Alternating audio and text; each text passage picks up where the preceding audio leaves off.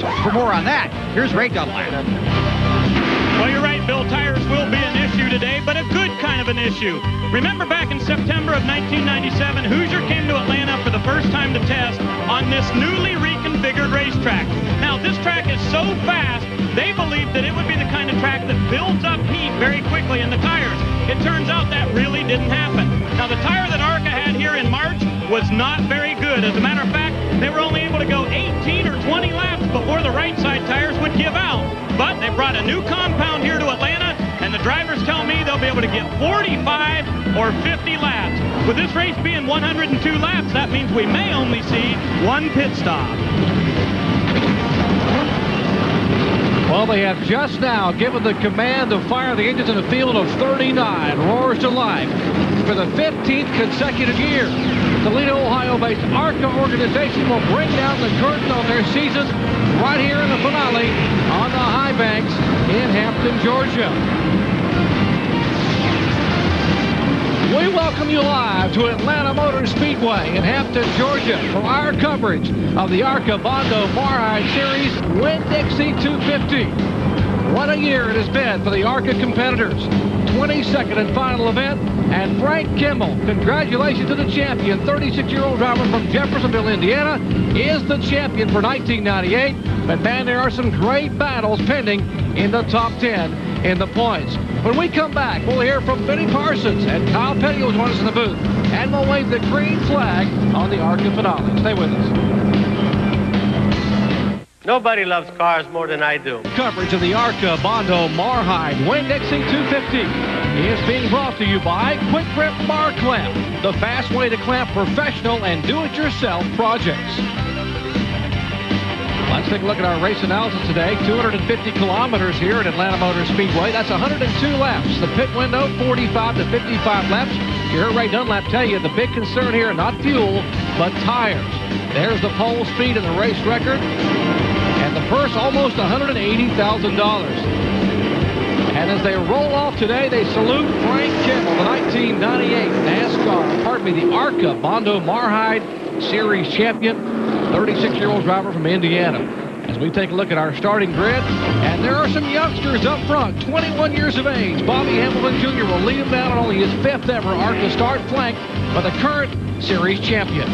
Back in row two, a young man making only his fourth ARCA start, John Kinder, and beside him, Kevin Ray, just 20 years of age. As you look at the rest of our starting grid here, a lot of young guys toward the front of the field, Benny and Kyle. I think they need to follow the Frank Kimmel. I think they need to let the 46 car go in front and just follow him and go as fast as he goes because Kimmel usually keeps the car in pretty good shape before the race is over. Yeah, definitely so. And, and what Kimmel knows, Kimmel knows tires at Atlanta. And just like they were talking in the opening here, there has there has been in the past a tire problem. The Kimmel's going to go out there, he's going to set a pace that he's comfortable with until they get a caution and they can look at these tires. These young guys are just wanting to run as fast as they can run. Bobby Hamilton Jr., of course, the son of Bobby Sr., who runs Winston Cup. Kyle, you've been in his shoes right now. You're, you've stood on pit road having your son start on a super speedway. What do you tell him on the pace lap? I tell you what, I was a nervous wreck. I never talked to Adam. I have to admit, I was afraid I was going to tell him something wrong. But Bobby Sr. and Bobby Jr. are uh, incredibly close. They talk all the time. They've talked a lot about this. I was talking to Bobby Jr. this morning out in the, in the paddock area, and he said he was just going to run a pace where he could stay off the tires until he did get them that way. But that's what he says in the paddock. Once he's in that race car and he's all pumped up and adrenaline's flowing, he's going to try to run low. There have to be some concerns in a lot of minds about tire wear here in Atlanta. Back in the spring, they ran 18 laps. Back in August, when they ran here, they got to 30 laps. And a lot of guys are saying maybe 35 tops today in this field. We have six in-car cameras we're riding along with today. Benny, Andy Belmont will be carrying one of the cameras. They're running for Rookie of the Year, the AOL Jasper Engines Ford. Also, Bobby Gerhart will carry the Kuwaitan Casino onboard camera. 47 car, Jimmy Kitchens, the Jamaica Airline Vacations, Jamaica Air. Also, Jeff Finley in the Exxon automobile. This was owned by Ed Rensi. Frank Kimmel, our champion, will be carrying one, the Advanced Auto Parts machine on the outside front row. And the youngster, Bobby Hamilton Jr. 21 years of age. He may be a junior, but he is a true freshman when it comes to Atlanta Motor Speedway, making only his fifth ever ARCA Series start, driving for Earl and Check Sadler. Let's check in quickly with Bill Weber. Well, you guys were just talking about how this field might want to follow Frank Kimmel, and Kyle mentioned the pace he's going to set. That's exactly what they're hoping that, that Frank could do, is get in front of this field and lead the early laps. And that pace should take him somewhere between 35 and 45 green flag laps if that is the early pace for this race. So look for them to make two tire changes. Some guys won't go that far. Some will go further. Ray? Well, Bill, earlier this year at Texas, Mark Gibson won the race, and it was a very hot day that day. When he crawled out of the race car, he could barely get out due to heat exhaustion. He's got another problem today, and that is the fact that he has a broken wrist. So Howard Rose is standing by down here in Mark Gibson's pit, and I believe that when we see the first caution in this race, Mark Gibson and the 59 car will come to the pits, and you will see this guy, Howard Rose, getting in to try to finish the race. 34-year-old Howard Rose, who practiced the car. In fact, they had a problem with the car on Wednesday in practice. They lost their only Taurus. Howard had a problem in the corners. He will get in for Mark Gibson, the former ARCA Rookie of the Year. By the way, Christian Elder, the young man from the Goody's Dash Series, had qualified sixth in this field in a car they purchased from Richard Jackson. And uh, they had the great Clips car all poised to be able to run in the top 10 and lost the car during happy hour and did not have a backup car, Benny. Yes, he was very, very dejected when I talked to him yesterday afternoon. And, you know, it wasn't in the corner. He was trying to get up to speed. And as he entered the backstretch where the new pavement has been put down, it overlaps the old pavement. And that scene that he caught upset the car as he was leaving pit road. So, Kyle, leaving pit road is a, is a crucial thing here at the Speedway, seems. It, it, really is because this is, they took the old racetrack, they used part of the old racetrack design, part of the new racetrack, part of the old asphalt on the apron and stuff, part of the new asphalt in the corners and stuff. And there are a couple of places, even right here coming out of turn four, there's three or four different angles that can pitch the car around. So, you know, you think about where you're running 180 or 90 miles an hour. When you leave pit road, you're running 120 or 30, so you can get in trouble quick. All right, the good news for Christian Elder will be back next year with the Great Clips as a sponsor. How about Frank Kimmel's 1998 season? Kyle, this is the kind of year you love to have. Nine wins, 15 top fives, 18 top tens in just 21 starts. That's a Jeff Gordon season. It's, it's in the ARCA division, but that's a Jeff Gordon season right there. Couldn't happen to a nicer guy. Frank Kimmel, his car owner and, and, and, staff. I mean, Larry Clement owns the car. Jeff Lemons, the crew chief on the machine. Great for the ARCA series and great for Frank, who, by the way, also subbed earlier this year for Jimmy Spencer in Winston Cup Racing when Jimmy had to sit out up in Michigan. They put him in the car on the car number 23, the Winston car. All right, the car, the field comes down. Green flag is in the air. Bobby Hamilton Jr. from the pole.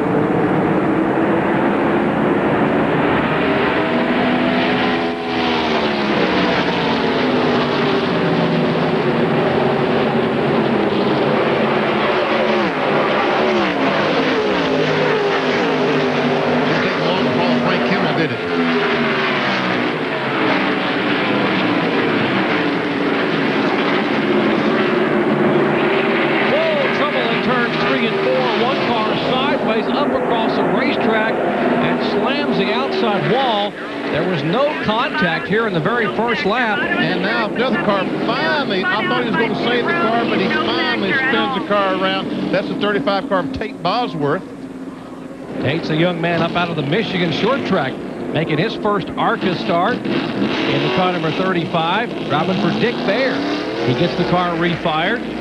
The good news, he didn't hit anything. Oh, and Dave Marcus, Dwayne Like, Marcus's PR guy, Dave gave him a break and put him in the car. The left side heavy damage. We see Dwayne moving around in the car, which is good news.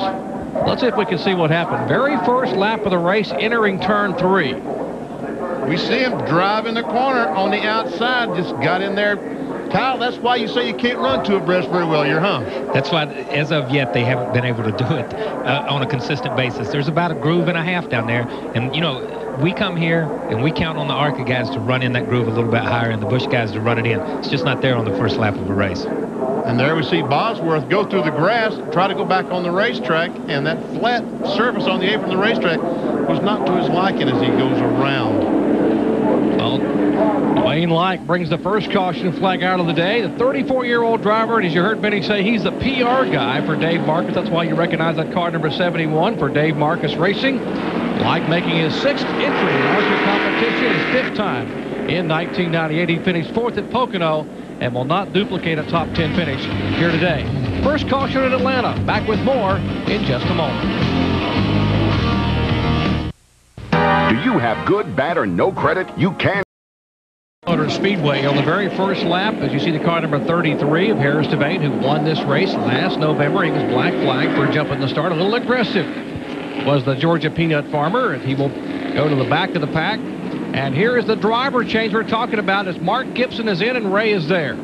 Well, interesting situation down here, Jerry, because Mark Gibson is currently second in the ARCA Bondo Marhide Series points. We've documented that Frank Kimmel has the championship locked up, but Bob Strait is just 90 points behind Gibson, so we could have a change for second place today. Now, you see Gibson is out. He's helping Howard Rose get set in the car. This was a big advantage for these guys for this caution to come this early because Mark said he didn't want to drive any more laps than he had to.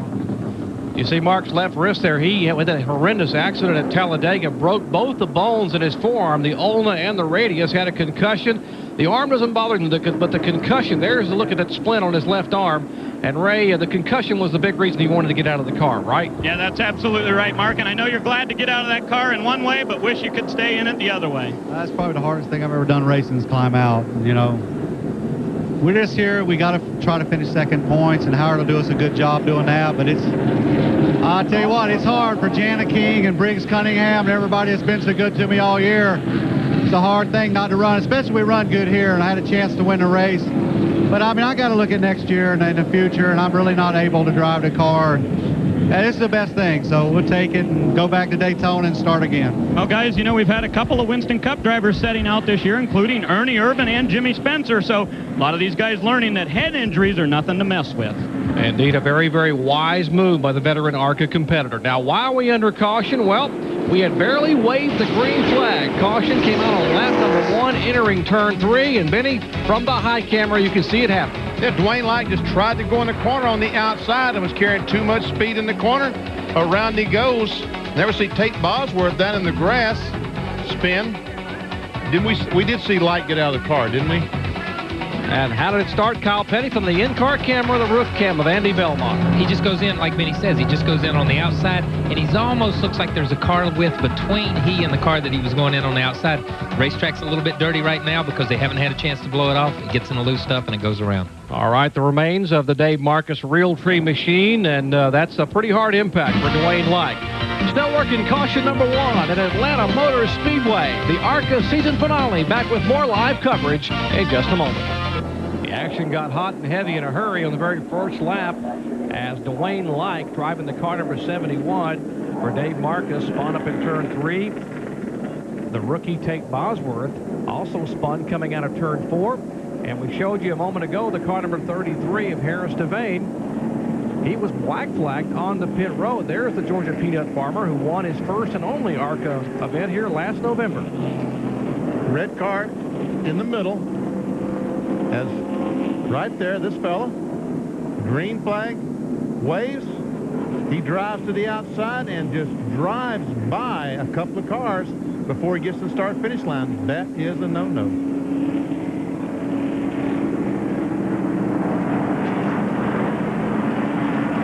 By the way, earlier today, the Georgia boot qualifying for the NASCAR Bud Pole and Kenny Irwin on the pole. So congratulations to the Robert Yates Racing Team and Kenny Irwin for putting that car on the pole. Remember Kenny Irwin back in the spring he led the most laps and finished fifth.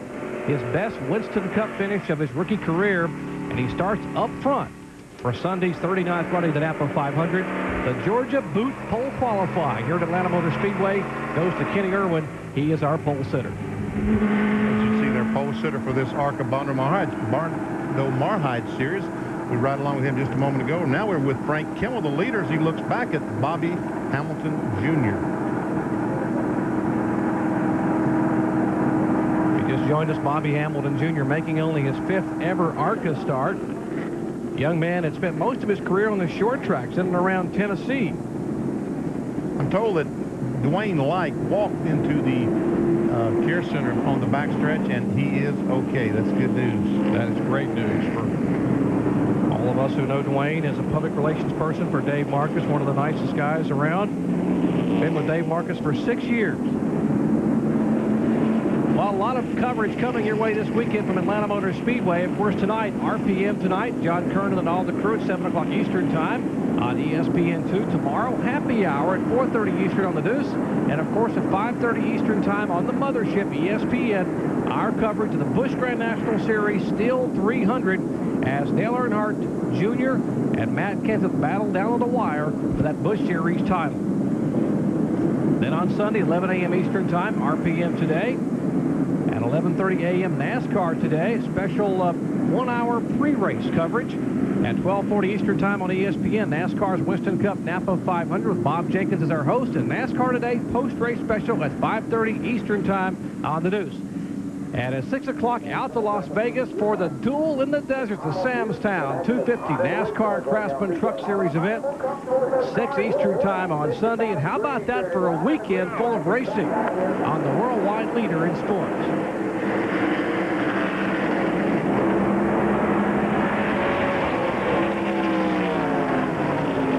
Number nine, back to green flag racing at Atlanta Motor Speedway.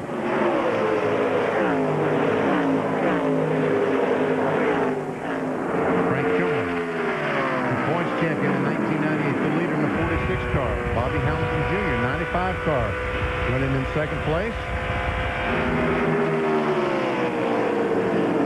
And there's John Kinder out of California in third place, the white number zero Darrell Lanigan out of Kentucky in fourth. John Kinder, the 08 guy, as you mentioned, Benny, a former Winston West Super Truck competitor. Late model driver out of Santa Ana, California, making only his fifth ARCA start. Then we see Mike Swaim Jr. and Kevin Ray, the Swaim Jr. in the 22 car, the Pennzoil car, and Kevin Ray in the 43 car. Seems like Kevin Ray has been around forever, and I asked him yesterday, he's 20 years old. Been racing since he was just seven, just turned 17 at Talladega. Of course, he is the son of John Ray, former NASCAR Winston Cup competitor.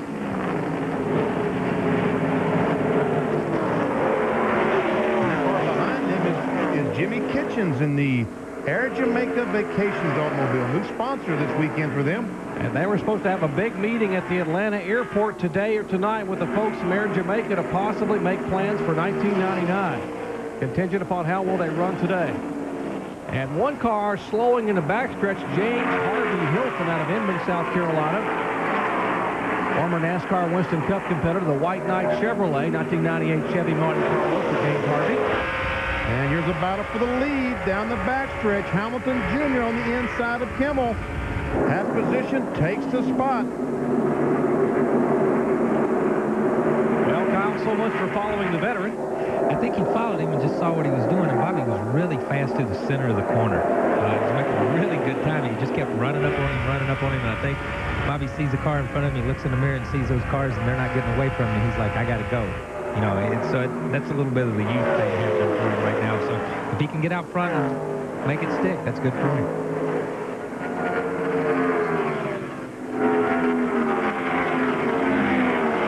Car number five, Bobby Gerhart.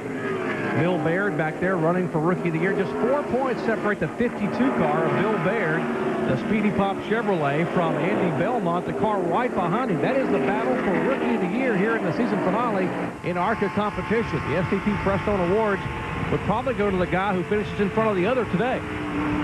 Oh, and we see Belmont go in the corner. It went right to the top of the racetrack, and look how those other cars drive away as he tries to get his car back under control. And while back up front, Bobby Hamilton Jr., 21 years of age, is pulled away by some 10 car lengths over Frank Kimmel in second position. As we have trouble in turn four, a car up against the wall, and whoa, that is Mike Cicchetti, and he gets down across the racetrack, nearly gets T-boned as Cicchetti brings the car to a rest. Kurt Piercy in the car number 10 nearly got Cicchetti right in the door as the car rolled down across, and we have caution now for the second time today coming out on lap number 14. And we see Cicchetti is definitely okay because he's driving the car. Well, actually, he's going back on the racetrack. I don't think he realizes how much damage he has in the rear because he doesn't want to lose that lap. knock the rear end out of it. There's our parking back into the wall. Might as well park it because it's hurt. I'd agree with that assessment, wouldn't you, Kyle? It's, it's definitely hurt, you know, and that's that's one thing these guys, a lot of these guys come off these short track series where they back in the wall, they want to get out of it, or get away from the wall and get back going as quick as they can so they won't get lapped. And a lot of times on super speedways, the hardest thing to learn is to let the car stop, let everybody dodge you, then get going again. You saw him come back across the racetrack. He might have done a little bit better. That's John Leslie, his crew chief, talking to Mike Cicchetti. Down and stop at the pit stall. Front of Jeff or behind Jeff? Not open. I don't know. Well, you might end up stopping anyway. It ain't open. Truthfully, Go around again. my side right the line, so I'm not sure. Pits are not open, Steer going around. straight. Yeah, the front end's all right, but, you know, you didn't need to drive around again. Get caught up to the pack at least. There's the ARCA official with the green flag. Now, when he waves that green flag, that'll signify the pits being open. You heard John Leslie say, bring it to the pit stall. Let's put it up on jack stand, see how bad it is. It is the season finale. And now they wave the green flag, and they will be making their way back to the pits. We'll take a quick break and come back and assess the damage on Mike Cicchetti's car, his Chevrolet. Hard impact into the turn four wall. 15 laps complete. Bobby Hamilton Jr. is our leader. We'll be back. Bondo Marhide Series. We are under caution for the second time today. This one coming out on lap number 14 with Mike Cicchetti. His car, his Chevrolet, backed into the wall up in turn four, and they have brought the car down to try to take a look at seeing if they could possibly get it back on the racetrack as other cars making quick stop and go. That's Rick Skinner, one car, out of New Jersey. Young man who's the uh, World Karting Enduro champion. Won that championship last year, last week, I should say, at Charlotte Motor Speedway. Well, lots of action coming your way this weekend. Sunday night football on ESPN. Mission. They have no padding in there. They have some reflective type padding they normally put on there. They didn't do it this week because it's so cool here. And he said his right leg is getting burnt. He's not sure if he can stay in the car. Now let's go to Bill Weber. Well, we talked about how Frank Kimmel wanted to set the pace, and we thought some of the other drivers might be content to follow him in the early laps. Not the case for Bobby Hamilton Jr. His crew chief told him when this race goes back to green, if you can get around Kimmel, go ahead and do it because we want to see how good that car is. They did make an engine change in that car, so they wanted to see how strong the power plant was, how well the car would handle when it's out in front of the field. Also, Frank Kimmel has told his crew he is a little loose. All right, so Kimmel, maybe one of the reasons he's backed off. Uh, Kyle, getting back to this Bill Baird story, the fact that uh, they talked about they did not put insulation on that hump because the weather was cool, but even though it may be cool outside, those cars still get pretty doggone warm on the racetrack.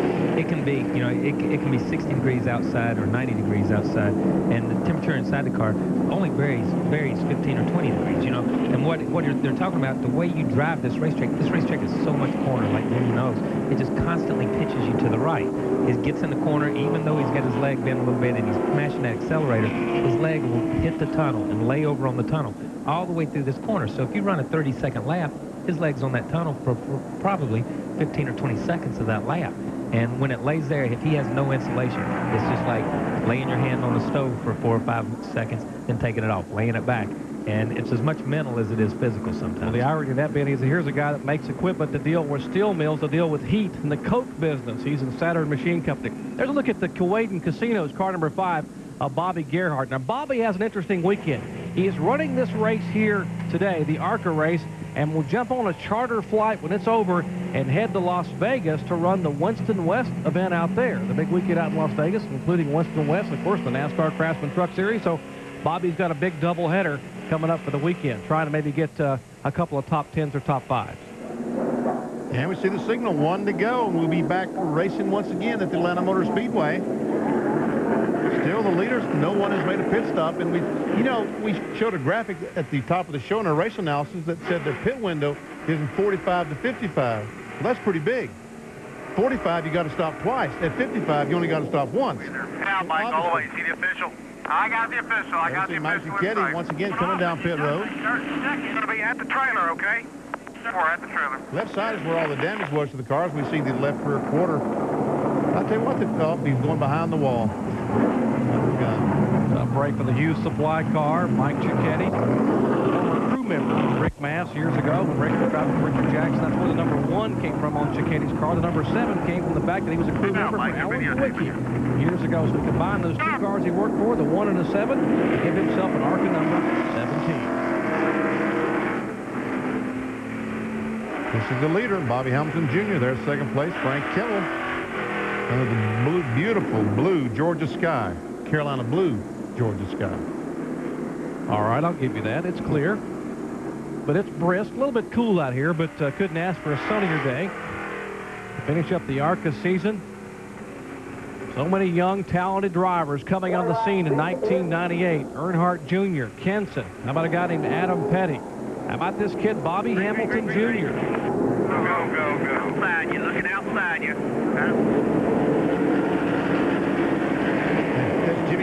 White car on the outside of Kirk Shelmerdine. Oh, we saw what happened before with some of them. This time Kitchens decides to back off and follow these guys. And Darrell Lanigan is trying to get by John Kinder. That's Lanigan in the 29 car on the outside. And Kinder on the inside, side by side. It's a battle for third place. You're all around, buddy. Hang in there. Couple of guys from the short track battling side by side on the super speedway for the very first time in their career. Oh. That was an incredible fast clear. I don't think that was clear, but that they both survived, so. That should have been followed by, I think.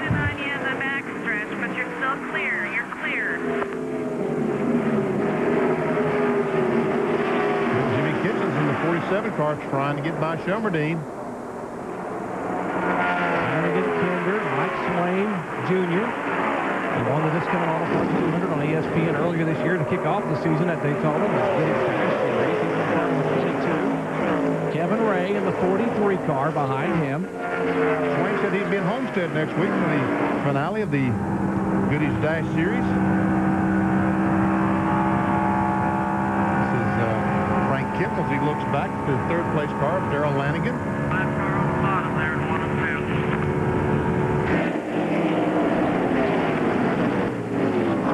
There's the lap car the spotter was talking about on the bottom in, in one and two. He's slow after he made that pit stop a few moments ago. Lanigan about to catch Frank Kimmel. Darrell Lanigan, 28 years of age. Only the fourth ARCA start in 1998. He was impressive here in March. And remember, he finished uh, fourth here in March in this car. Didn't he sit on the pole at the Charlotte, the ARCA race in Charlotte a couple weeks ago? Sat on the pole, led over half the race. Um, had a lap car spin and take him out in a crash. And he had to put a whole front clip on the right side of his car. And since Charlotte, Darrell Lanigan has gotten married, gone to Hawaii on a honeymoon, and came here from his honeymoon to race on Thursday. Wow. John Kinder has fallen back. And Mike Swaim Jr., the Pennzoil car, is caught up. Once again, that's a battle for the fourth spot.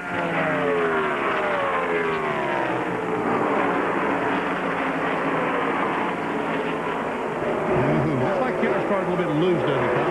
When he goes in the corner, goes up the racetrack. It goes in the corner and it just chases the racetrack. A lot of times you'll see a car that's tight when it goes in the corner and pushes up. Like we saw Andy Belmont earlier. His car almost looked tight because it just it. This car looks like it just, if you watch it, it just barely eases its way up the racetrack and then opens up that bottom lane. All right, as you see Mike Swaim Jr. make the pass for position. That would be for the fourth spot. Let's check in down with Bill, who's standing by with the guys. Got to be disappointed, Bill. And that would be Mike Cicchetti. No driver wanted to finish in the garage, and you're trying to get back out. How bad's your car? We crushed the rear clip pretty good. You know, we've we've been lucky all year. We run this whole ARCA series, all the speedways, and hadn't had a wreck yet. And uh, I guess my perfect record shot to heck. You know, but hey, the Hughes Supply team's working hard. We're going to try and get back out and run some laps. Uh, I got to say thanks to all the people that have helped us this year, especially Penske Motorsports, and I'd like to welcome Don Miller back from uh, some uh, debilitating surgery that's uh, kept him in Washington for a while. He has been like a fairy godfather to me. What happened to your car? What happened out there? We were, the car was tight in, in one and two and loose in three and four. And uh, it started coming to us in, in one and two. So I said, well, maybe it'll come to us in two and four. And it came to me, all right. The wall came to me. Uh, you know, I just got to say thanks. I mean, this is our last chance for the year to say thanks to to everybody that's helped us, uh, you know, Ream Air Conditioning, the Winter Circle, and Basscraft and Bass Style. I know you guys go crazy when I go through my list of sponsors, but we wouldn't be here without them. I mean, uh, they've made this whole thing possible, and, and uh, gosh knows that this sport can't be run without Get to those the high sponsors. side. You know Get that. ones on the bottom. Get back to work. We'll see you in the spring. Thank you, Bill. It's Mike Cicchetti. No driver wants to finish the season parked in the garage while everybody else is racing. They're going to try and get Cicchetti back out on the track. Well, we were watching while you were talking to Mike, were watching uh, Bobby Hamilton Jr. working traffic up front, and he's working like a veteran. Tell you what, this is a pretty good battle for the lead right now. We see all four cars. Tail, Hamilton, Kimmel, Darrell Lanigan, and Mike Swaim Jr. Well, 21-year-old Bobby Hamilton Jr. on the pole for the first time ever in only his fifth ARCA start, and he leads away after 30 laps. Hampton, Georgia, Bobby Hamilton Jr. showing the way on a three-car length separation over the second-place car and our defending champion, Frank Kimmel. 29, sir. Earlier today, another youngster in Georgia boot qualifying for the Bud Pole. Kenny Irwin on the pole. Texaco Havoline Ford Thunderbird for Robert Yates Racing. Great run for Kenny. Outstanding effort puts him on the pole where he had his best run earlier in the year where he led the most laps and finished fifth. Back in March in the Prime Star 500, he will lead him down to the green flag in the Napa 500 live on Sunday. Once again, this is still the first four cars. Hamilton Jr. still the leader, 95 car. Look, I saw smoker. 45, Johnny Spradley. Slow on the back stretch. Looks like his day is done. Tough break for Johnny. He just picked up a sponsor for this race prior to the event. Local dealership in Georgia. Tough break for Johnny. And also the car number 55, we might want to mention the Tony Altieri car out of Florida. They have an oil pump drive belt problem, and they're on pit road. So those of you looking for Tony, he is in the pits. I'd kind of like to see Altieri do well. Like to see Chubby Checker down do some twists in his pitter. He was Hey, I, I talked to Chubby yesterday. Got him to autograph a picture to me. I said, you know, Chubby, you think you're good. You ought to see Benny Parsons twist. That's right. or turn or stand. All right, speeds upper left of your screen, 175.460 miles an hour. The pole was about 184 and change, so obviously they're at race pace right now. So 37 laps into this one. 19 car This headed. is my cabin counselor. Kevin on the outside, the 19 car. Now, give me a report card right now on Bobby Hamilton Jr. So, so far, so good, I know, but uh, you've been watching him very closely work traffic. he, he's really doing a, really great job. He's you, you see him sometimes he, he can stretch it out to like six or seven car lengths over Kimmel, and then he'll catch traffic and he backs it up a little bit. He catches traffic, passes traffic where it's convenient for him, not where they make it convenient, inconvenient for him. Uh, and what I mean by that is he's not going by people on the outside going into the corners. He's waiting for them to come off the corners, driving under them, and outpowering them down the straightaway. He's really driving a good race right now. As you watch this battle here, Benny, that is part of pa- that's the main part of passing is setting him up, right? Setting him up. Oh, watch that car close in. This is Jeff Finley. If he just closed in right on the back bumper of Jimmy Kitchens. Kirk Now, Shelmerdine is going in the corner. It looks like he's backing off more than these guys going in the corner. But he's able to get back on that throttle and drive off. And these guys aren't able to turn under him and drive off. And seventh, eighth, and ninth, Shelmerdine in the three car, the Ken Appling car. Handful, next time by coming in. That is Shelmerdine's radio you're listening to. Coming on the outside. Great shot there of those cars all together. Shelmerdine, Kitchens, and the 83 car of Jeff Finley. Off straight. On the 21 car, the Zinsser paint car. If, that's Shelmerdine's radio, somebody just said next time by I'm coming in. Uh, and I, if he's leading that pack and coming in, we, we may see a man scatter here. Yeah. This week if we watch. Exactly. It's time Kirk started waving that. Oh, he's not going to come in this time because now we see Kitchens finally gets under him. Three, guys. Takes his spot away. Well, he tried to slow down, and he couldn't get to the inside because Kitchens had already made a move, so Hurry now on Kirk in here. Hurry on in here. 4,000. Evidently that's not Kirk we're listening to then. Must be Harris Devane that they're talking to. Getting some lead through from some of the radios. Harris Devane, who won this race last November, he's the car number 33 coming down pit road at 45 miles an hour. Meanwhile, Shelmerdine, and he loses another spot as Andy Belmont. The America Online car goes by. Kirk got moved from the front of that pack all the way to the back of that pack just by getting hung on the outside.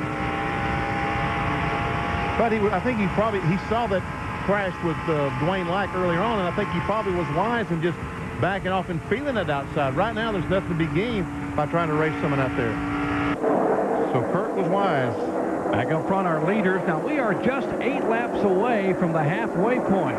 Halfway be lap 51 of 102 here. So, of course, we have had two caution flags already today, which has certainly, certainly slowed the speed down. But a lot of concern, Kyle, over tires. And thus far, I hate to jinx it, but uh, we've we've been pretty uh, pretty lucky, pretty fortunate. We've been very fortunate. One thing you got to remember, they run 43, 24 laps right now but a large portion of was the caution. Uh, at the first the race, you had four or five laps, and then you come again, and you had another six or seven laps. So really, they brought about 30 laps for maybe, maybe a few over 30 laps. So they may be able to go all the way to the halfway point.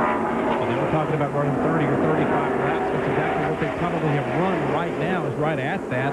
As the Kyle mentions how many laps are run under caution. Now, the 59 car, we mentioned that Mark Gibson, who had the concussion and the broken forearm at Talladega, had to climb out of the car. He's second in the points coming into the finale. They put Howard Rose in the car, the Janet King Ford. And there is Howard Rose, the former ARCA contender who actually won an ARCA race back in, uh, in the late 80s, uh, doing it all by himself, Benny.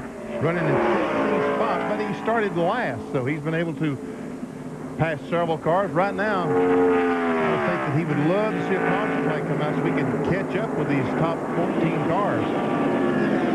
It's the old, I need a caution, I need a caution, and I don't want to be it. Yeah, exactly. And at the same time, he's doing exactly what he's supposed to do as a relief driver. Keep the car out of trouble, get as many points as possible, and, and hopefully come away with here so Gibson and those guys are finished second in points. It's a bit of a breakaway right now for the first two cars. They've been able to pull away from Darrell Lanigan. This is Bobby Hamilton Jr. and Frank Kimmel. And they've been able to put about a second and a half, second and a third, on the third place car of Darrell Lanigan. That time by 1.47 seconds, the interval between the leader and the third place car of Lanigan. We are about six laps away from halfway. Field really stretched out here at Atlanta Motor Speedway. The third time the ARCA guys have been here. On this very wide and extremely fast racetrack. And once again, is Jimmy Kitchens. There at Jamaica Vacations. Let's go to the Caribbean. How about that? Old Jamaica Mon, 47 of 102 laps in the books. Hamilton Jr. still showing the way. Back with more in a moment.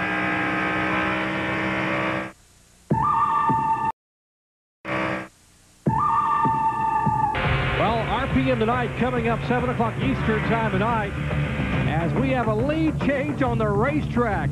Frank Kimmel takes the lead. Bud Pole qualifying update from Georgia Boot qualifying. Kenny Irwin on the pole. Driver changes. Special guest. How about Rusty Wallace at 7 o'clock Eastern time tonight. RPM tonight with John Kernan. Speaking of driver changes, we had a lead change. We just coming back a moment ago from uh, commercial. Talking about what's going to happen tonight on RPM. And Frank Kimmel making a move to go by. And he will try to squeeze by Harris Devane, who had just made a pit stop. Inside, still inside you. Oh, we've got a car up in the wall, up in one and two. Is that? Yes, it is. Bob Strait. Looks like the right front tire's gone away. For some reason, well, I shouldn't speculate on that because but Strait in the wall with the right side. Caution flag obviously is out. He was very, very fortunate. The 49-year-old veteran driver was headed directly for the wall. He was third in the point standings coming in. He was the guy battling Mark Gibson for second spot. And that's the reason Mark Gibson had to start this race and get out and have a relief driver. He was concerned about Bob Strait. But you know, Strait and Gibson are such good friends. Let's see if we can see what happened and bring out the third caution. We see Bobby Gerhart right behind him in the five cars. He goes through the tri the dog leg here at the Atlanta Motor Speedway. Oh, we see the right front tire going away. And right there, you know, how in the world he hit that thing with it looked like the right rear, but with the right front, that was the right front went flat, wasn't it, Kyle? Yeah, it looked like the right front went flat, and I'm going to tell you, if it had gone flat 15 feet, 20 feet further down the racetrack, he would have hit a ton because he Yeah. would have already turned into the Yeah. corner. At the time it went flat, he was on the straightaway, and he just drove it in next to the wall. And as you see the car number 21 now having rested up against the wall after coming into contact, let's show you the lead change once again. The 46 car of Kimmel, the 95 of Hamilton Jr. And Kimmel just drives by on the outside. Maybe Hamilton had signaled him to go ahead on the outside because it's And here's the reason for our third caution flag of the day. Right front tire apparently just cuts, and look at the right front of that 21 car. And watch the pieces as that tire starts flying apart. And Garrett says, man, let me turn left quick. Right in front of Bobby Gerhart's windshield, and he just, Kyle, it's almost like the car just gingerly went up and rubbed the wall. Yeah, it, it, it, don't get me wrong. That's a that's a pretty good blow right there. You know what I mean? Because at that point on the racetrack, you're running 178 miles an hour. But he he was very fortunate, very blessed that it happened it happened. All right, we are three laps past the halfway point, and the leaders on pit road. Here is Kimmel, the new champion for the ARCA Series coming down. Hamilton behind him, Lanigan, Swaim Jr. Let's go to Ray Dunlap. Well, Mike Swaim brings the Pennzoil Pontiac in. They are going to make a couple adjustments on this car. I believe they're going to pull some tape off the front end. It will be a four-tire stop for number 22. He came in in fourth, and now let's go down to Bill Weber, who's in the leader's pit. Hamilton is here. He has the very first pit on pit road. He didn't have his tires turned properly. He He had them turned to the right. That cost him valuable time. Kimmel right behind him. They're already round to the left side on Kimmel's car. Hamilton's car is a little tight off. They wanted to loosen him, loosen him up with a little bit of wedge.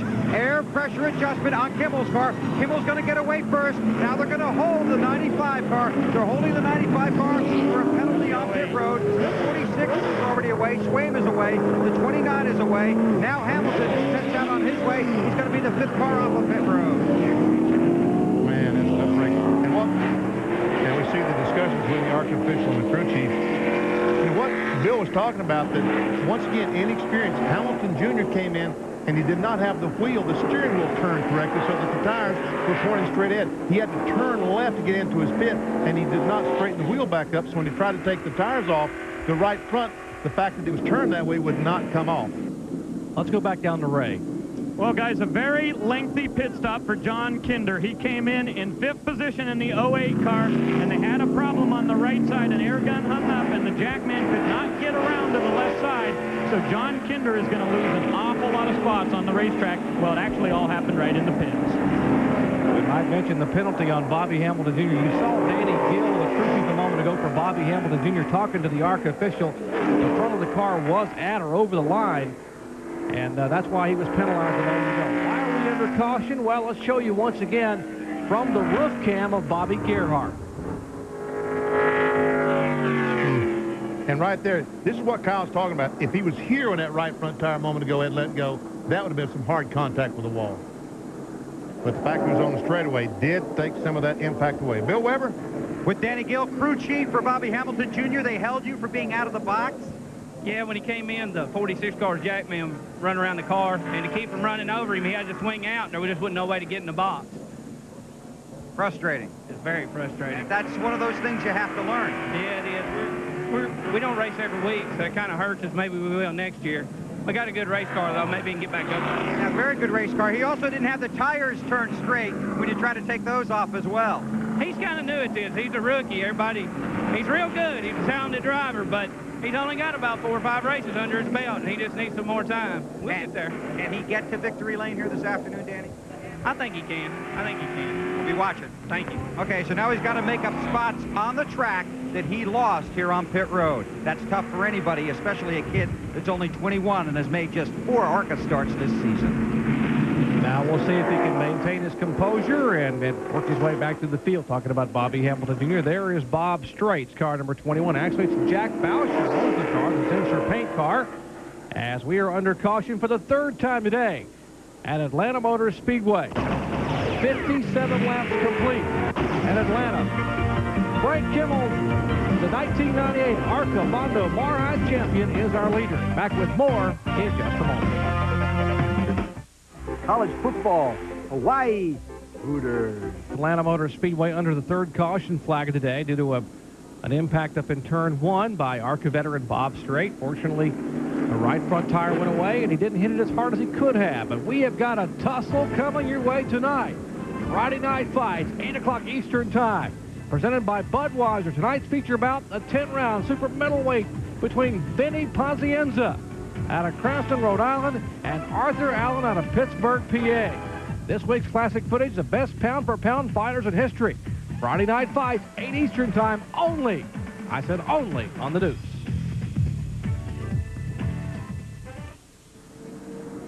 There's a guy that could have had a knockout punch here a moment ago when that tire went away, but he got lucky. Right, Ray? Well, that's absolutely right, Jerry. And we're talking about Mike Swaim Jr. in the 22 car. This is the right front tire. And take a look right here that is separated at the fabric on the inside of the tire here. So we know that tire wear is somewhat of a problem.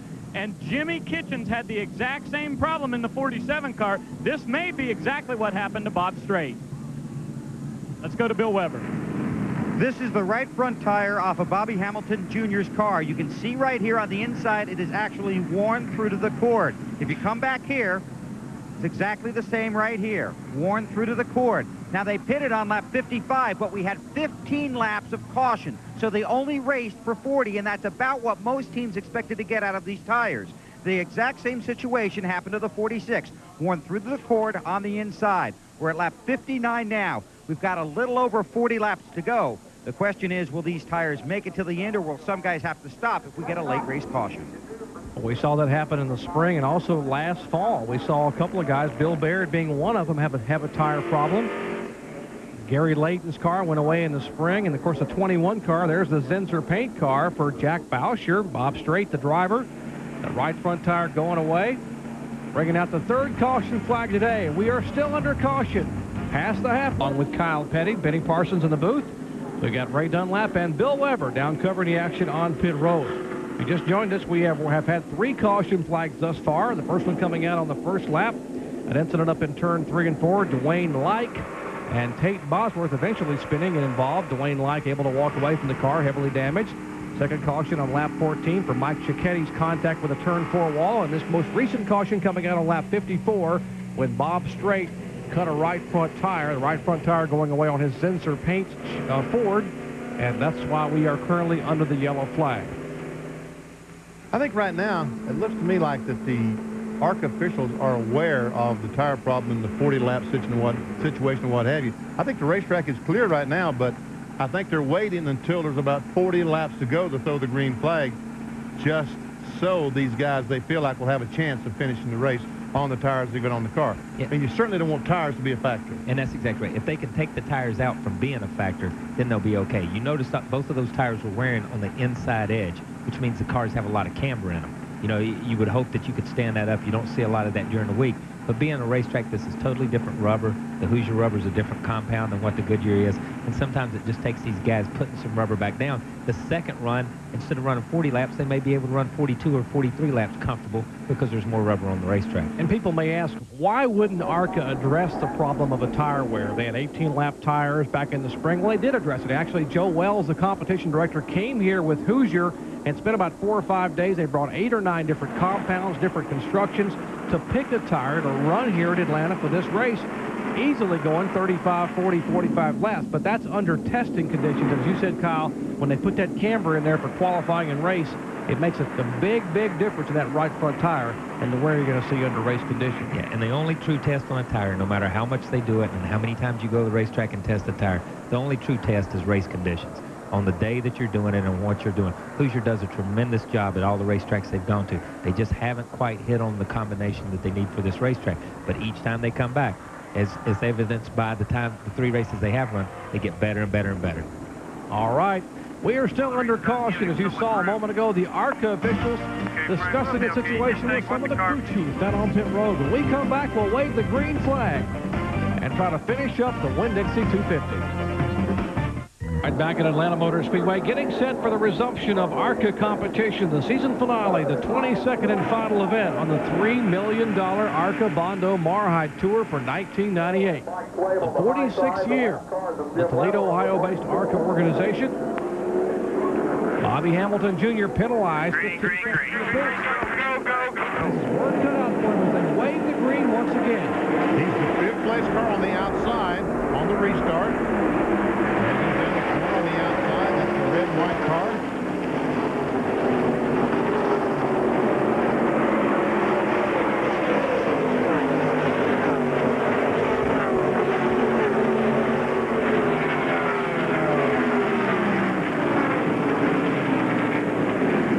there's the top three. Kimmel, Mike Swaim Jr., and the 29 car of Gerald. Here comes Jimmy Kitchens. top five. Riding along with Kitchens is uh, Jamaica machine. There's a move by Bobby Hamilton Jr. to take the spot away, and he will take fourth position.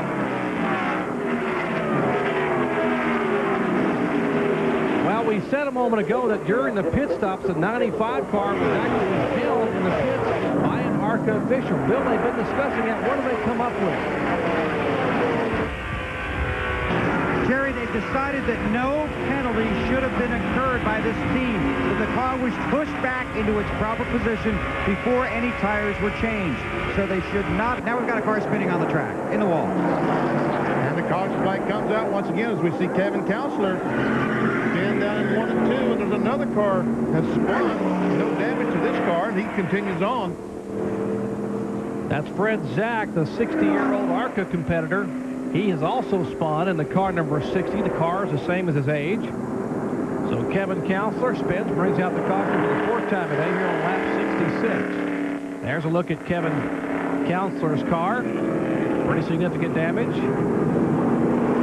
we can see what might have happened to the driver from Tampa, Florida. We see the thing is smoking. Looks like the engine's going sour in the corner, there, Kyle? Yeah, it does. It just it smoked as he got as he started off into the corner, and then it just gets out from under him right there. It's, it has to be blowing or something. He gets in his own oil almost because all of a sudden it just turned around on him, and it didn't didn't bobble, didn't do anything. It just turned spun around. And also the 60 car, Fred Zack spinning. He saw the smoke, and he's trying to avoid it. His car goes up and backs into the wall. That's the counselor there. Oh, here's Zack down across the inside. Pardon there me. you go. Thank you, Benny. He just got on the apron of the racetrack, and the and again, the cars will run 160 miles an hour on the bank. They will not run on the flat racetrack, the apron like that. Well, the previous caution came out because of a right front tire problem for Bob Strait. I think uh, Ray has caught up with him. Ray? Well, that's true, Jerry. We're back in the garage. And, Bob, I know it's been a great year for you. You won at Winchester. And, boy, you just were going to have a shot at running for second in the points, but your day is over. Tell us what happened. Well, we went down into one, cut a tire, blew a tire, and uh, that, that's about some of it. Uh, Zimmer was running top 10. We were hoping to have a good top 10 finish, maybe getting second in points, but uh, as you can see, we're going to lick our wounds and start next year. Now, what's the deal? This is a Talladega race car. You're not supposed to bring those kind of cars to Atlanta. Why'd you guys choose this one? Well, that's the best one of the group we got right now, so that's what we choose to take. And uh, we had to run them pretty decent. I, I don't think we could have won, but we'd have finished pretty respectively. But uh, our day's over. Bob Strait in the number 21 car. Day is done. They're going to put the car on the trailer. All right, he brought out the third caution flag today. We are currently working caution number four. We're going to show you exactly what happened, first of all, with the 19 car of Kevin Counselor. Once again, down the corner, we see smoke from under the car. And David Boggs, the four car, is lucky he was able to get by before Counselor spins and goes up the racetrack and backs around the fence.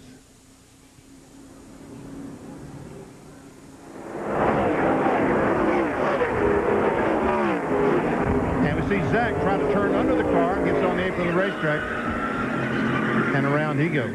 And we hope Kevin is okay. He began the year at Daytona in the ARCA 200. There he is out of the car. It's good to see him walking away. Kevin Counselor, he broke his scapula in Daytona at the very first race of the year, so he has fought his way back to run ARCA and now climbs out of the car. The Atlanta South crew will take him down to be checked out here in the care center. Mark Waterman and his uh, Georgia Baptist Hospital staff, their trauma staff on duty. And hopefully we'll be able to hear from Kevin Counselor before the day is done. Heavy damage to the right side of that Chevrolet Monte Carlo. And there are a lot of Frank Kimmel fans, and why wouldn't you be? He's the champion for ARCA in 1998, and he leads here. Back in a moment.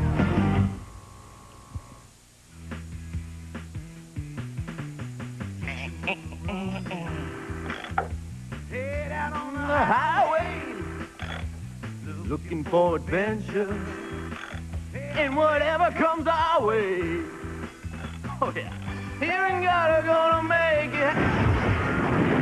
Born to be wild, born to be wild.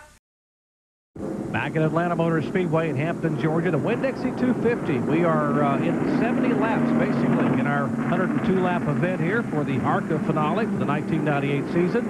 Huge weekend, not just big, huge weekend on tap for you here at Atlanta Motor Speedway tonight, 7 o'clock Eastern Time, RPM tonight. E ESPN2. Rusty Wallace will be on hand to join John Kernan, and Ward Burton will be down there. Sits on the outside front row. Earlier today in Georgia boot qualifying alongside Kenny Irwin. Tomorrow, happy hour, 4.30 Eastern Time on E ESPN2. And, of course, our coverage at 5.30 Eastern Time on ESPN, the mothership of the Busch Series Stihl 300. And, of course, Dick Trickle on the pole for that one as it winds down between Earnhardt Jr. and Kenseth for the title. Sunday, RPM today, 11 o'clock a.m. Eastern Time on the Deuce. NASCAR today, 11.30 a.m. Eastern Time. NASCAR Winston Cup 39th running of the Napa 500. Bob Jacobs will move in. John Kernan will be with us. Ned Jarrett. Our entire Speed World crew, flag to flag coverage, 1240. Remember, it's 1240 Eastern Time on ESPN. And of course, NASCAR today, post-race special. We'll wrap up the entire 1998 season at 5.30 Eastern Time on E ESPN2. How about a duel in the desert? How about the Sprague guy? And how about this guy named Hornaday going at it for the NASCAR Craftsman Truck Series Championship? 13 points separate those two guys as they will get it on big time at 6 o'clock Eastern Time Sunday, the Sam's Town 250. And that should be a barn burner out west. So what a weekend here. Auto racing, NFL, college football on the worldwide leader in sports. When they hit the line, they will get one to go. So we will come back for the green flag and hopefully the finish of the Winn-Dixie 250 from Atlanta Motor Speedway in just a moment.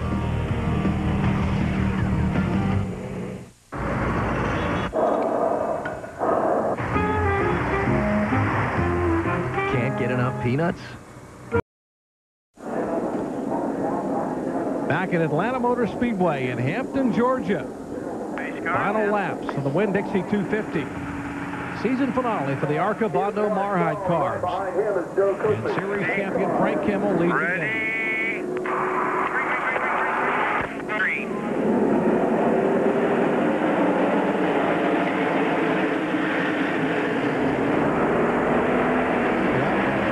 on the inside.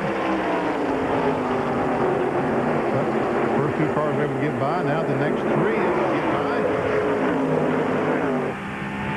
And here comes Swaim Jr. trying to take a look on the inside of Kimmel. Nope, can't it down in turn three. But Kimmel moves up the racetrack. Might be what Swaim is looking for as they come off four. Young second-generation driver Mike Swaim Jr. from the Goody's Dash Series ranks. Has been impressive in this limited action in ARCA thus far, and he will take the lead. Here on lap number 74. And there's Gerald Lanigan taking over the second spot. Kimmel now back to third. Here comes Hamilton trying to follow Lanigan. And he'll move Kimmel back to fourth spot. How about a parade up front? 22-year-old Mike Swaim Jr., the leader, Lanigan in second spot. He's 28 years of age. Hamilton at 21 is third.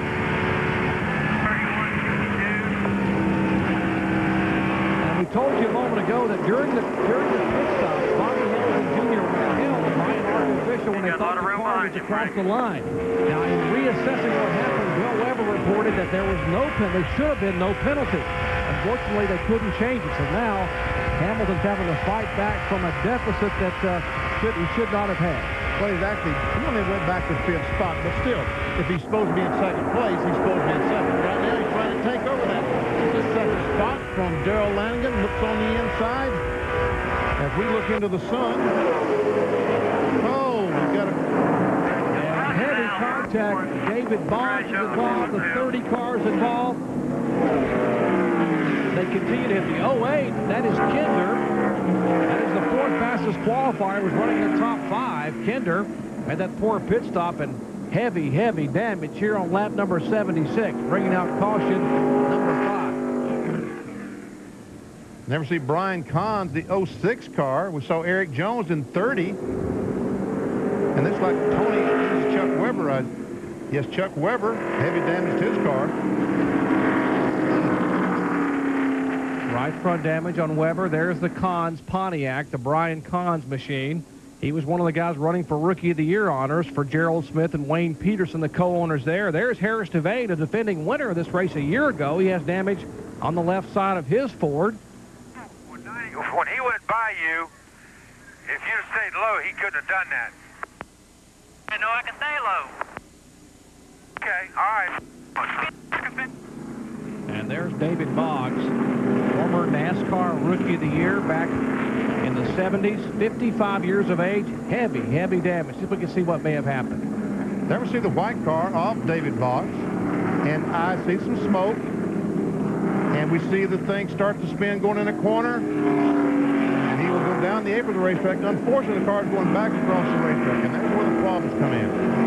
As he goes back across the racetrack, it leaves other cars with just no place to go. And never see Eric Jones in the 30 car come in too. We see Harris Devane just barely get clipped as he goes by on the outside. And there we see Chuck Weber come down and hit Boggs as he goes by on the left side.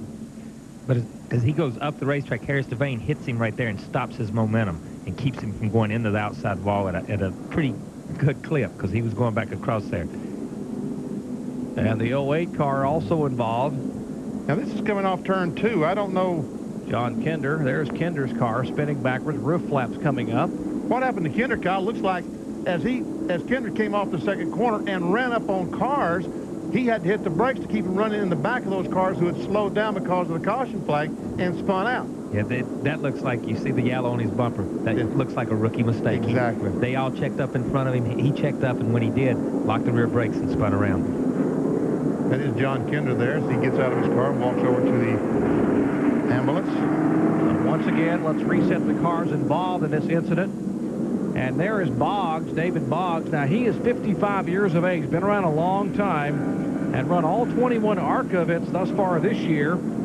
Former NASCAR Rookie of the Year, over 200 short track wins. As Boggs, and you saw the smoke off the left front of his car, and his car beginning to spin is actually what started this whole incident. The front of his car heavily, heavily damaged. David Boggs involved, Brian Cons, Eric Jones, Chuck Weber, Harris Devane, and John Kinder. That was probably Eric Jones standing there talking to David. Boggs said, look, man, just leave me alone. I just want to sit here for another hour or two. When you saw it in slow motion a moment ago, it doesn't seem that violent, but they don't look that hard. But when you look at it in real time as it happens, well, buckle up your seatbelts.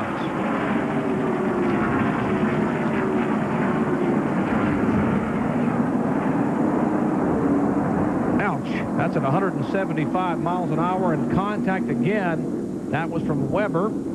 Jones, the 30 car, has come to rest. So the Atlanta South crew are there working with David Boggs. The good news is Boggs has gotten out of the car. And they're helping to his helping him to his feet, so I think he'll be able to walk over to the ambulance. And, okay, now there's let's see, let me see. I got one foot. Yeah, I got both feet. I can walk. And they're helping him over uh, to the Atlanta South crew. They'll take him down to the care center to be checked out. Once again, we saw uh, John Kinder walking to the ambulance a moment ago. Harris Devane was talking on the radio. He was okay. Chuck Weber had come to rest on the racetrack. Eric Jones, only his third ever start in a stock car, coming out of the sprint car ranks. And Brian Cons, a rookie driver in ARCA, they were the ones involved as we work caution for the fifth time today here on lap 79.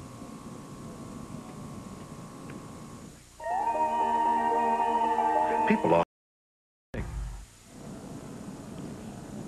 Back at Atlanta Motor Speedway, Kyle Petty, Benny Parsons, Jerry Punch in the booth, along with Bill Weber and Ray Dunlap in the pits covering the ARCA Bondo Mar-Hyde season finale. For the 15th consecutive year, they bring down the curtain on the Toledo, Ohio-based stock car series here at Atlanta Motor Speedway. Now, on the previous caution flag, Andy Belmont in the AOL car, the car number 40, had made what he thought might be a smart move by, I think, headed toward the pits. Let's check in and find out the whole story from Bill Weber. Bill? Well, it sure looked like it was going to be a real smart move. There were 14 cars on the lead lap. Belmont was running in 12th position. He came down pit road under the previous caution, got four tires. They pulled out some of the sheet metal around the tires, and then they sent him back out toward the racetrack. But Andy was held at the end of pit road by the ARCA official because he pulled up to pit under the caution. That means he passed guys on the track illegally before coming down pit road. He was held at the end of pit road, went one lap down, and last check was running 17th, one car off, the one lap down from the leaders. So he went from 12th on the lead lap with what looked to be a brilliant move to 17th, one lap down, and that could really play a big factor in the battle for rookie points. Indeed, Bill, exactly. And here are the points coming into the day. Just four points separating Bill Baird. Uh, 424 from Andy Belmont, just four points back. Brian Kahns, by the way, just involved in that incident a moment ago. He is now in the garage area, so it's between Baird and Belmont. And Baird is being shown in 11th spot. He is the last car on the lead lap, and that pit stop by Belmont, although it was a, a calculated risk, now cost him a lap. He is back in 14th spot, bending one lap down. And unless something happens, they may cost him a shot at the Rookie of the Year points uh, championship. Another guy who was trying to do exactly the same thing, use his head, do something smart, was Eric Jones in the 30 car.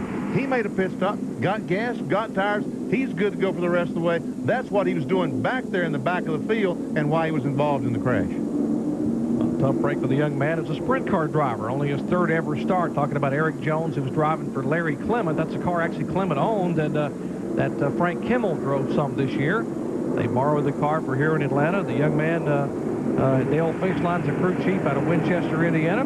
A go-kart racer, sprint cars, Formula Dodge, and uh, thought he might have had a shot at it, but he gets involved in that pile up there. Six cars involved, once again, in this latest caution flag. And run them down, David Boggs, Brian Kahns, Eric Jones, Chuck Weber, Harris Devane, and John Kinder as we work caution number five after 82 laps. We'll be right back.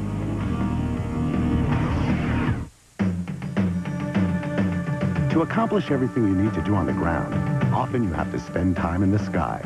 Fortunately, what you do both places can help you get where you really want to go. Just get the Delta Sky Miles credit card from American Express, giving you American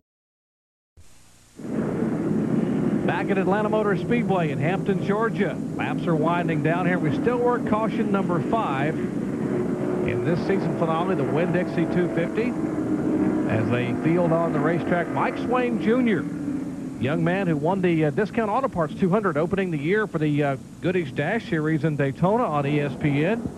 1997 Goody's Dash champion. He is our leader, and there's the carnage uh, you saw a moment ago of what uh, why we were under caution here for the fifth time. Well, we were speculating a little bit ago on the fuel situation for Jimmy Kitchens, a driver who was the three-time short track champion down in Birmingham. Has had such a great run. And, and uh, Bill, Bill Weber, pardon me, Ray Dunlap, what's the situation in the Kitchens pit? Well, Doc, down here they're trying to decide what to do. You see Bobby Allison up on top of the toolbox here, and he's talking it over with some crew members. Red Farmer is up on the roof, and these guys have been back and forth in radio communication. But I think at this point they've said, you know what, we've run so many caution laps in this last caution that we might just stay out and hope for the best and hope that 47 car can make it to the checker. Hmm. Wow. I think there's some experience there between Bobby Allison and Red Farmer. My heavens. And they told me yesterday that Bobby Allison is going to be uh, part of the team. He and Dave Carroll are going to be part of the team for Jimmy Kitchens in 1999. Hopefully, if the folks from Air Jamaica Vacations come on board. They're supposed to have a meeting at the Atlanta airport I'm, I'm tonight. Decide the three o'clock. possible involvement. I go all the way back past nine o'clock before it'll turn.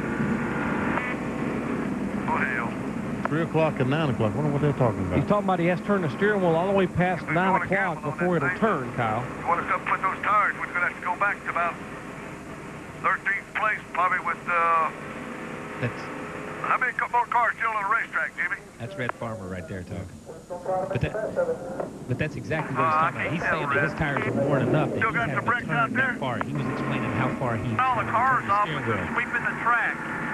And that's why they're talking about putting on pressure tires so he doesn't car as far and scrub off as much speed. So if, you, if you put your right hand at 3 o'clock on the steering wheel, you had to take his right hand and go all the way oh. over to 9 o'clock or beyond before the car would turn. Before in the car corner. was turning. That scares me right just thinking about that. That's exactly, and it should scare you. After looking at some of these tires that have come off these things, it would scare me too. I would probably come in and get tires. You know, guys, you know, Jimmy's run a good race today. He can finish the year on a high note. He's looking at, at, at Air Jamaica vacation for a sponsor and stuff. He can finish, a- do a lot of good today if he comes in and, and just plays it safe. Well, Jimmy Kitchens, a three-time short track champion at Birmingham International Raceway, six times in ARCA. Best finish this year at 12th at Charlotte, although he had a top 10 in Winston West competition on ESPN out of California in June. Hoping for a good run here. We are under caution. We'll come back and wave the green flag for the final laps of the Winn-Dixie 250 from Atlanta Motor Speedway in just a moment. Back to Atlanta Motor Speedway. Ray Dunlap, Bill Weber in the pits, Kyle Petty and Benny Parsons along with uh, yours truly, Jerry Punch, bringing you live ARCA action. The curtain call for the Bondo Mar-Hyde Series for ARCA. Frank Kimmel's the champion, but who will win it? Will there be a different winner here in this 22nd and final event of 1998?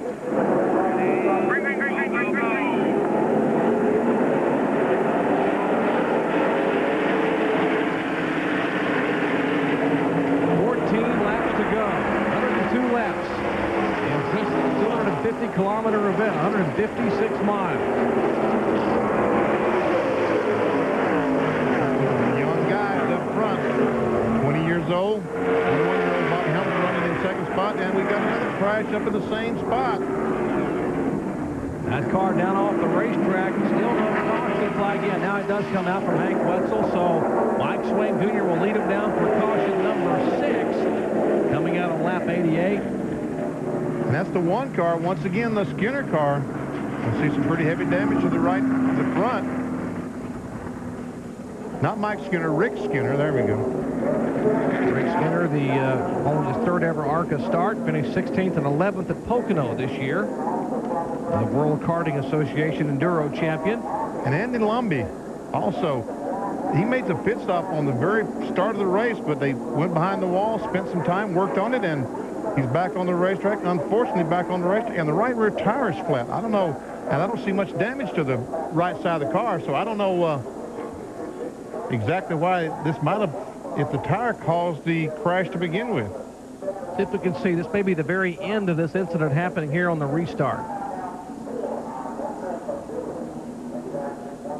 Now, our spotters are saying they thought they may have heard a boom, which would indicate a cut tire out in the turn as they were watching these cars restarting on this lap. And there is the 87 car of Lomby, the driving instructor for the Buck Baker, Buck Baker Driving School. He was one of the two cars involved.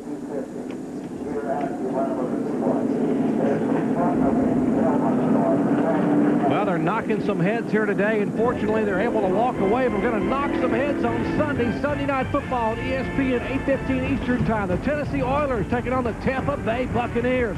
Then at 8 Eastern on ABC Sports.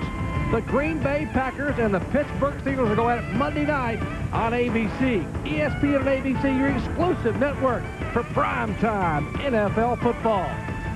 We'll come back and clean up this incident and have the final laps from Atlanta in a moment.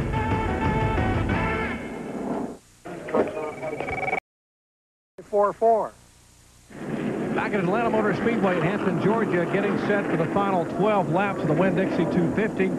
There is Bobby Hamilton Sr. watching. And by the way, earlier today in Georgia boot qualifying, Bobby Sr. qualified 14th quickest in the Kodak Film Chevrolet. He will start outside of row 7. There's Bobby Hamilton Jr., his young 21-year-old son making his fifth ARCA start. It has been a day for youngsters. Kenny Irwin on the pole. For the Napa 500 on Sunday, the Texaco Havoline Ford driver. He'll be flanked by Ward Burton, Dale Jarrett. So two of the Robert Yates cars starting first and third. Mark Martin is fourth. And Mike Skinner, good qualifying effort for Mike, in fifth spot. Derrike Cope in a Pontiac sixth. Bobby Labonte seventh. Trickle eighth. Jeremy Mayfield ninth. And Geoff Bodine rounding out the top 10 in Napa 500 Georgia Boot Mud Pole qualifying earlier today on ESPN. And tomorrow afternoon at 5.30 on ESPN, we'll have the Stihl 300 for the NASCAR Busch Series. And top 10 qualifiers, Dick Trickle, Matt Kenseth, Mike McLaughlin, Tony Stewart, Joe Nemechek, Dale Earnhardt Jr. Start sixth spot, Lance Hooper, Dale Jarrett, Dave Blaney, and Mark Martin. That's the top 10 for tomorrow's NASCAR Busch Series race. Big weekend of auto racing here. ARCA today, of course, uh, Busch Grand National tomorrow, happy hour. Sunday, the Napa 500. And we go out to the desert at Las Vegas for that shootout. Our field summary showing you that there are still 11 cars on the lead lap. Look at the youngsters, 22-year-old Swaim, 21-year-old Hamilton, 28-year-old Lanigan. Kimmel, he's the old guy. He's the champion. He's 36 years of age. How about Kitchens? He's a youngster. Jeff Finley, car number 83. Howard Rhodes is 34. Shelmerdine is there. Former Earnhardt crew chief and the guy who won here in the spring. Bobby Gerhart, 88 Rookie of the Year in ARCA. 20-year-old. Car number 43, that Kevin Ray. John Ray's son. And Baird, running for Rookie of the Year back in 11th spot. He is the final car on the lead lap. And here are the cars that have had some troubles. We have actually had six caution flags today for a number of laps. The latest one, uh, Rick Skinner Spin and Andy Lumby, the instructor at the Buck Baker Driving School involved.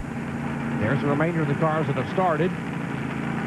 First caution flag today, Wayne Leik in the car number 71 on the very first lap. Down in turn three, pretty hard contact in the Realtree Chevrolet. Our signal, when the cars come by, there'll be one lap to go.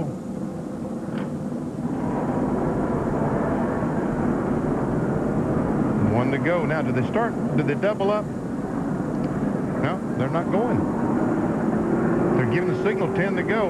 Evidently, they're having some radio communication problems between the tower and the flagman because I've noticed all day that he keeps looking back to the tower to get his instructions because he can't see around the racetrack if it's clear or not. But normally they do that by two-way radio. This, I've noticed that they have been Yeah, that was Hank Wetzel on the flag stand looking up to Ron Drager and Joe Wells. Drager, the president of ARCA, and Wells, the competition director, right down from us here in the tower as they are communicating back and back and forth. They will restart this race with less than 10 to go. They'll have one lap to go next time by. Kyle, we talked about the fact that your young son, Adam Petty, has come along this year. And, uh, but how many young drivers? What a year for young talent emerging here in a lot of different series. You, you ever notice that, that everybody sits back and they look at a series and they say, where are all the young drivers? These these guys are about to age out. You know, you've got guys that are coming along that are still winning races in their 40s and early 50s and, and late 30s and stuff. And you say, where are the young drivers? And then all of a sudden, in a one or two year period, a bunch of 17, 18, 19, 20 year olds jump up and start dominating the series that they work in. And, you know, it's just one of those deals where, yeah, speaking of young drivers, there's two right here side by side, the three uh, of Dale Jr. And, and Matt Kenseth. And then you've got Elliott Sadler's car sitting right over there. Those guys, some of those guys will be running Winston Cup races next year. They're still going to run Busch races. Uh, you know, guys are just moving around, and they come from everywhere now. Used to, it was a, a southeastern type sport, and now it's so big. No matter whether it's ARCA or Busch or Winston Cup, uh, they come from all over, and they come from a lot younger age groups. These guys learned to drive playing video games. They didn't learn to drive out here on the racetrack taking these hard knocks. and speaking of those guys you just mentioned, how about a championship uh, possibly settled here tomorrow? We'll be at Homestead next week uh, uh, for the finale for the NASCAR Busch Grand National Series. There is the AC Delco car number three, Dale Earnhardt Jr. He will start in sixth spot, as you heard Benny mention. Matt Kenseth will start second in the, the Lycos.com Chevrolet for Robbie Reiser. Reiser's Raiders, they call his pit crew, and uh, they've been pretty impressive over the last few events. People thought that that was actually one of the Roush teams changing tires at Rockingham and some of the previous events, but it wasn't. It was Robbie Reiser's own crew, a Busch crew, and they've got their own nickname. That's when you know you've arrived, Benny. Um, You've got the Rainbow Warriors, and now you've got Reiser's Raiders, the pit crew for that Busch Grand National crowd. Are we going Green, yes, we are. The cars are two by two, getting ready to go. As we said, we've got 11 cars on the lead lap. All the cars on the outside to your left are the lead lap cars. There's the leader, the yellow Pennzoil car, Mike Swaim Jr. Bobby Hamilton Jr. in second spot. Flag being waved at the start of lap number 95. Seven laps to go. 102 laps since this Winn-Dixie 250. Kimmel did not get a good start. There's Kitchens trying to go back. Kimmel on the outside.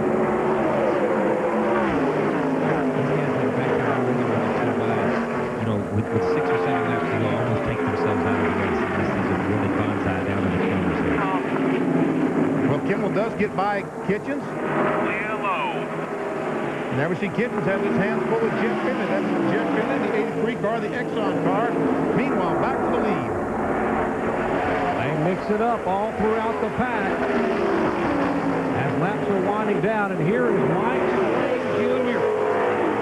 His a three-time Goody's Dash Series champion. Making only his fifth ARCA in 1998. And here's the youngster making also his fifth ARCA ever. Bobby Hamilton Jr. in the Shoney's car, the Shoney Chevrolet for Earl and Jack.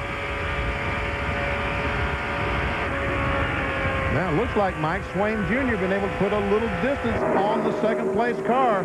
Last time by, was about a half second. We'll check it the next time. Looks like on that first time down through turns one and two that Bobby Jr. just drove it down in the corner and the car picked up a push coming up out of it. The battle for fifth spot. The 47 of Kitchens and the 83 of Finley. As Finley looks to the inside, that is for position. Five to go. Still inside. Jeff Finley, the 83. Clear, clear all around. He's inside again, buddy. Hang in there. You're clear behind him. Fill the hole. Another one coming. away. He's looking. He's looking inside. He's That is- inside. That is Jimmy And you're Kitchen's clear spotter low. you're listening to. And that's the 59 car of Keep in Howard line. Rose. still looking. Relief driver for Mark Gibson. Clear all around, Jimmy. You're clear low. You got a slow one on the inside.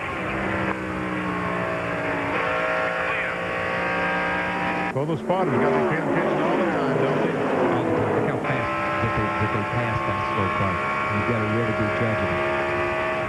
Less than four laps to go. Back up front. Battle for third spot. Here is Kimmel and Lanigan. Kimmel is the 46. Sometime. Lanigan the 29 car.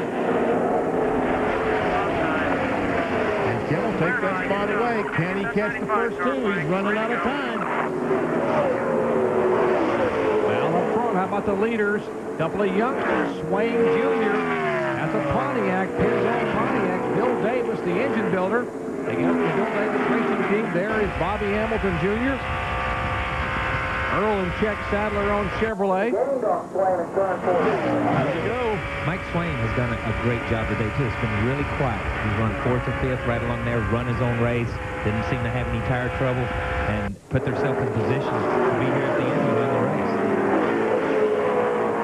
come by this time for the white flag, signifying the final lap of the 1998 ARCA Bondo Mar-Hyde season. And Swaim is pulling away. Hamilton Jr. not able to close in. White flag is in the air. One more lap. 1.54 miles away from becoming the 11th different winner in 1998 is 22-year-old Mike Swaim Jr. 1997 Goody's Dash champion. He began the 98 year winning at Daytona in a 200-mile event for the Dash Series cars. And there's another young man who has an incredibly impressive and promising career ahead. The youngsters come out of turn four, and Mike Swaim Jr. will take the victory at Atlanta Motor Speedway and win the Winn-Dixie 250. There's Ronald Fox. There's Mike Sr. Barry Owen, the crew chief down there. Remember the Bill Davis crew. There's Barry Owen with the white beard. Let's go down the range. Now, we want to hear from Barry Owen. Barry, get over here. I know you've won a lot of races with Mike Wallace, but this one has to be pretty special. This young kid's a great driver. It is. He's, uh, you know, people, you know, hopefully somebody will notice him. You know, he's smooth. He's a smart driver. Uh, he feels the car. He knows what he feels. Uh, a lot of fun to work with. Guys, some incredible stats down here. There have been 29 ARCA races here at Atlanta, and Mike Swaim just became the 24th different winner. How about that? Barry Owen, um, he's seen a lot of them go to victory lane. Gets a big hug from some of the crew there. He was a chief wrench and car owner for Mike Wallace and the ARCA, and they've won some pretty big events here. But how about that youngster there? An impressive talent, a great athlete, too, by the way. Mike Swaim Jr., great shortstop. He had a chance to play collegiately on scholarship in baseball. I'm, I'm going to have to get a plug here. They, uh, this is tw two winners in the ARCA Series this year, both graduated from Trinity High School. Adam and Austin, or Adam and, and Mike Swaim graduated from Trinity High How School about that? within two or three years of each other. Well, he'll be transferring to Trinity pretty soon to be able to... Uh, you want to be a race car driver, go to high school in Trinity. How about that? Well, the young man's got to be smiling, and his dad's got to be absolutely as proud as he can be. These are the moments that a dad dreams about, seeing his young son, Kyle, and I got to believe you thought about that, seeing your son pull into victory lane for the first time. Yeah, it was incredible. Uh, you know, I, I, and I've said it before, when, when it happened, you know, I, I saw my father win a lot of races and couldn't be more proud of anybody than I was of Richard Petty, but that was the biggest thing that ever happened to me was a Frank Beard, David. Been driven into before, and then you pray that the thing will just stick because you only have one more shot around this racetrack to win the championship. It will be quite indeed a shootout. 4,300 miles of racing, and we have come down to the final three. Green flag flies. Biffle not slow on the trigger this time. Sprague, Ruttman, and then Hornaday. Watch for some defensive driving now. It looks like Sprague's got a pretty good run going. Biffle takes it to the top and gets the run down the hill trying to gather speed. Through turn two, Biffle staying down low. Oh, he wiggles. Big wiggle. He lost some of the air. Sprague, that little wiggle might have caused him to lift if he did. Sprague over here. Here comes Hornaday under Ruttman. Hornaday underneath Ruttman for third, so now Sprague must win this race. And it won't make any difference. If he does, he's going to have to get by, and he's trying. He's trying to take the spoiler. Oh, he doesn't. He gets underneath Biffle right now. Jack Sprague. Oh, contact. Sprague holds on to the spot. He's got a big donut. One lap to go. And up in the gray, he's up there throwing a lot of marbles. Right now, Hornaday down. Hornaday can win this race. Hornaday into second. That would clinch the championship for Ron. Sprague. And they're going to make the Ruttman with a big speed as he comes up the racetrack. And a huge crash. Big crash in turn number two, but they will race to the checkered flag because it is behind them. So it is now up to Jack Sprague. He has to hope that Ron Hornaday spins it out. All Hornaday has to do is stay right where he is. It's going to be Sprague's victory. It's over. This thing's over. This is exactly what they had to do. Ron, Ron Hornaday wins the championship. Sprague wins the race. Sprague wins the race, but Ron Hornaday wins the championship. Listen to that crew. Whoa, man. Third place will go to Greg Biffle. The two of them salute each other. No one could have written a script better than this. Jack Sprague did everything he had to. Ron Hornaday matched him toe-to-toe. Biffle got into Sprague. I don't know how he saved that truck. He did. It was a big hit. Fantastic ending to a great year. As heavyweight championship fights go... Look at this, side by side for the fans. That was probably the best heavyweight title fight you could ever dream of, and the emotions. As you see the banner, 1998, our first two-time Craftsman Truck Series champion, and the name on the trophy Uh-oh, will here. be Down Ron Hornaday. That's Jack Sprague making his way down onto the infield turf. I so is Ron Hornaday. The two trucks coming side by side, perhaps, here. Look at this. Well, they're both right there past the victory. What a uh, show of sportsmanship. High five each other. The two of them. Uh-oh. and the victory donuts for both of them, and they have both earned it. Let's go to Gary Gerould with a man who's got to be just welling with emotion. Man, I tell you, this is my first truck race. I'm welling with emotion. I can't imagine, Fred, what you're feeling right now. Tell us. It's just unbelievable. I can't believe it. Uh, we Did, your, did we- your heart stop on that last lap? Oh, absolutely. We just told Ron that if uh, Jack got by Biffle, he had to go with him, and he did it. I can't believe it. Well, let's go to Victory Lane and watch your guys celebrate. Unbelievable. Thank you. His first championship, gentlemen, in all the years. I, and I have to tell you, that's a lot of emotion for Fred Graves. He is probably the coolest cucumber on pit lane that you ever want to see. He never gets super high or super low, but I guarantee you he's super high right now. Stay with us. We will talk to our race winner and our champion when we come back.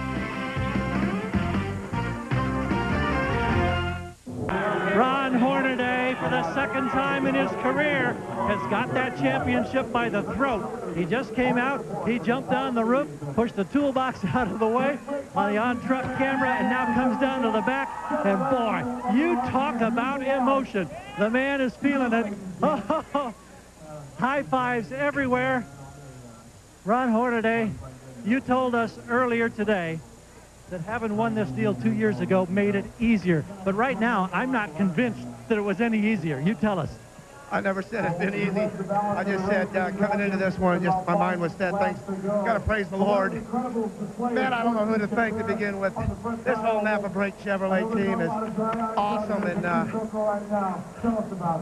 Fred Graves, all these guys that just on this whole team has just got so much faith in me, and I, and I got so much faith in them to come to win this thing. Jack Sprague won the race to come home second. Emotional deal, unbelievable. You were running fourth when Jack was second, battling for the lead, and Jimmy Hensley was right on your back bumper. Now tell us what thought process you were going through with a two-lap shootout as Fred Graves comes in here, and once again the emotion spills over. Tell us about those last two laps. I'm not telling you about nothing because I don't remember them. All I know is Jack tried to get in front of that, that 50 truck. The 50 truck hit him. They both lost momentum. I about won the damn race, but you know what? All I do was finish second. When they said I had enough room behind me, I could have probably air loosed Jack and ran into it, but I'll tell you what, we need this championship more than that win. And I'll tell you what, Las Vegas, I finally led a lap here. What an awesome Chevrolet. These guys were just badass all day. They call him a bulldog, and now we know why. Rick? We are here with Jack Sprague. Jack Sprague, you know you had to give it everything you possibly could, and I got to tell you, in that last lap, you sure did. Well, we had no choice. We had to win the race, and uh, you know, I give, I got beside Biffle for the lead, and he just slammed me. And then once I got by him, he moved over and let Ron go. The young man's got a lot to learn. He don't know a whole lot about racing apparently, but. Uh, you know, that's the way it goes, and, uh, you know, the way it looked, if we won the race, we were going to be all right, but he moved over and let him go. You know, I don't understand it. He's going to be in this situation one day, and uh, he don't have a lot of friends as it is, so. But I'm not complaining. I'll tell you, this Team GMAC crew did a great job all year. Appreciate the sponsorship, Team GMAC, AC Protection Plan, Quaker State Chevrolet, Rotary Lift, uh, House Machinery. Especially like to thank Rick Hendrick. Uh, you know, I know he's probably a little dejected right now, as but, uh, you know, we had a great year, five wins, and uh, we knew we had to win the race, and we went after it. He gave it all he could today. He did at least win the race. Just couldn't quite make that championship. That's the hardest interview you ever have to do when you do everything that you possibly can and you still come up three points short. Yeah, I've, I've been in a situation like that before. I know exactly what he feels like. You know, tomorrow he'll feel a little bit different. They'll be glad the whole season's over. He has nothing at all to hang his head in shame about. He did everything he could do. His crew did all they could do. Fantastic year for Jack Sprague. Greg Biffle will be your Cintas Rookie of the Year as he finishes fifth overall. And as we look down through the unofficial results and pick out your favorite driver, we want to thank our crew. I tell you what, they had 40 mile an hour winds to deal with today, folks, and the cameras weren't shaking hardly at all. I don't know how they, they must have super glued their feet to the, to the roof and to all their positions. Great shots, guys. You didn't miss a thing. That was a spectacular race for all of us to be a part of. We hope that you have enjoyed it as well. Here are the final points tabulated. 4,072 for Ron Hornaday, just three back. Jack Sprague, Joe Ruttman solidly in third, Jay Sauter, Tony Raines, Jimmy Hensley, Stacy Compton, and on down the list. Championship coverage next Sunday, Busch Series, Jiffy Lube 300. We'll crown another champion there, 1 o'clock Eastern on ESPN. Then on the November 22nd, the Dash Series and the All-Pro Series. For Dorsey Schroeder, Rick DeBruhl, Gary Gerould, I'm Marty Reid. Thanks so much. This has been an ESPN presentation, a worldwide leader in sports.